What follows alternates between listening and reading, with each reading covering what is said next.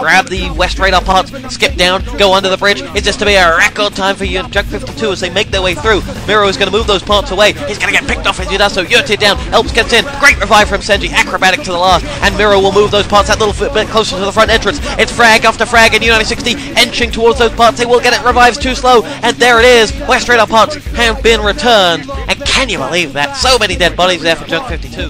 Now, what Yurte and the Root have got to do is hold here. Pull forces away as the other side coming from the right hand side. The question is, can they? They're not going to hold. They're going to kill them all. Oh, Gazetta like a one man army cutting them down. But there it is. There's that exact diversion as the other side of the Junk 52 attack came in. Gazetta 1-2 frags, and four for Gazetta. He is the keeper. He is the keeper of the gate, and he locks that gate firmly shut down at the West Radar parts. He mowed his lawn as there were four Junk 52 players there who got down. And that is it, 145 to go. That was Junk 52's best attempt. They sent two down the right hand gully in front of the Axis respawn.